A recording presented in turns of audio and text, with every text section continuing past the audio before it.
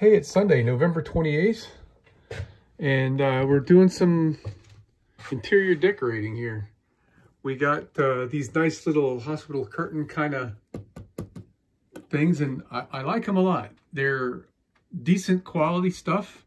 They're, they're plenty strong. I thought they were not going to be strong enough, but they're plenty strong.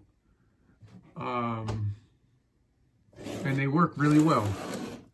I like them a lot. So uh, what we did here for the shower, since we've got this piece, I made little spacers out of the same stuff that we're going to paint those white.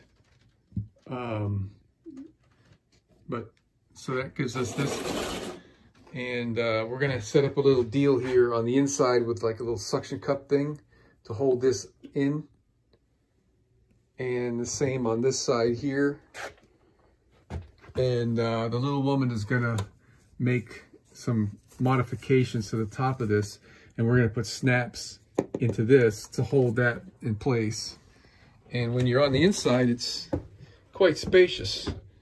Um, it looks like it's not going to work too well as it is because these things, it, the bottom tries to flip outside from the pan, but um, we're going to put some lead weight shots in the bottom there to, to hold it better. And I think that's going to be just fine. So right now we're working on these curtains here. And we're toying around with different kind of rods. We got these spring rods from, I guess, Walmart. Barbara did. And I'm going to change these feet. These don't have a very rubbery kind of feel here. It's more like a plastic surface that I think will, will be a little bit too slippery on that polyurethane. So I'm to try to find some little rubber caps for this.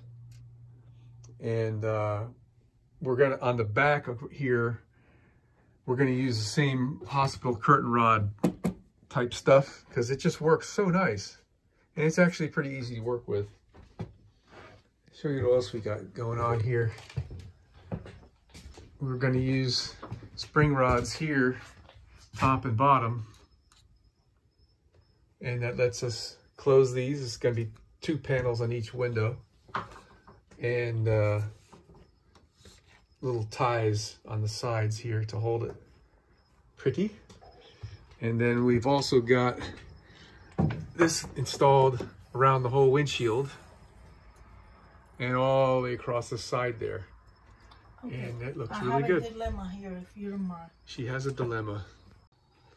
All right, we're back. So, um, our dilemma has been overcome.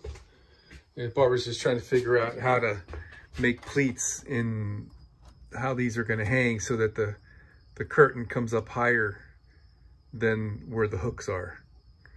It's, uh, that's her thing. She sews, so she can figure all that out. So the, the roller set that I bought is a 16 foot kit, I guess you'd call it. And it gave us enough to go around the whole windshield uh, and I've used up all of the brackets. I have leftover rollers, but I used up, I, put, I added more brackets. They say uh, 10 to 12 inch spacing, and I've got 10 inch spacing here. And then I've got like eight inch spacing on the shower because I figured that might be heavier, you know, when it gets wet and all that stuff. So these are eight inch on center here. And uh, yeah, so we're, we're going to get another kit of this um, to go across the back. And we're going to put a curtain to close this opening off. So I'll probably just get another 16 foot kit. Then I'll have leftovers and uh, spare parts if something should break. And uh, yeah, because to go from a eight foot or nine foot to a 16 foot, it's just a couple dollars more. So that's what we're gonna do. All right, I think that's it for a day. Uh, oh, the other thing we did today is uh, I made the legs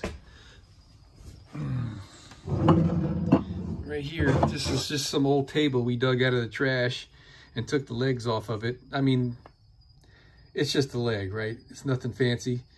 And then I drilled and put these, um, I forget what you call these. It's a wood screw on one end and a machine screw on the other. And uh, when you take this cushion off, you screw the legs into this piece, and then this is your handle to pick it up. And uh, this lays out completely flat and it works great. Nice and nice and sturdy. So